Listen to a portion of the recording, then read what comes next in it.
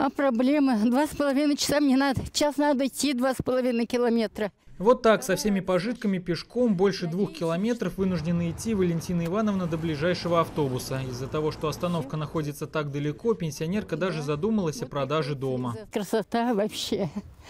Если бы не транспорт, жить можно, радоваться жизни.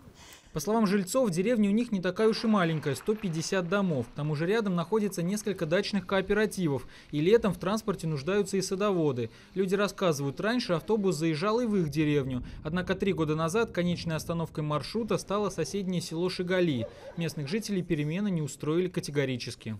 У многих двое, трое, четверо детей. Провожаем до Шагалей своим ходом на автобус. Встречаем из Шагалей и так далее. Четверо детей у нас. Ко мне сюда даже м, бабушки к нам не приезжают, потому что вот это для них расстояние слишком большое. еще полбеды вот летом, а сейчас вот снова начинается зима, э, будет скользко, и пройти с сумками с полными, допустим, это очень сложно, да, для нас, пенсионеров. Сельчане показывают целую пачку обращений, которые они направляли и в Минтранс, и в Комитет по транспорту, и в районную администрацию. Написали даже письмо на имя Рустама Миниханова. В ответах госорганов поясняется, автобус не ходит из-за того, что дорога не отвечает требованиям безопасности. будет рассматривать после завершения работ по расширению земляного полотна. Нас полотно расширили, и так молотком опять.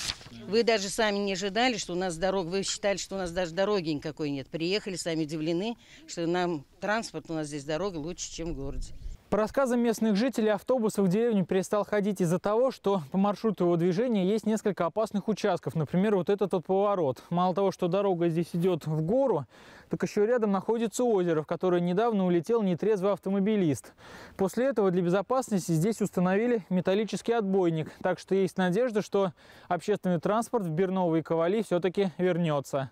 Впрочем, надежда у людей недавно появилась. В Комитете по транспорту сказали, что готовы вновь рассмотреть вопросы продления автобусного маршрута до Ковалей. В ближайшее время в деревню должна приехать специальная комиссия, которая даст свою оценку, насколько безопасна местная дорога. Пока же людям приходится идти расстояние до остановки пешком или добираться до города на попутках. Андрей Шульга, Сергей Ткаленко, телеканал «Эфир».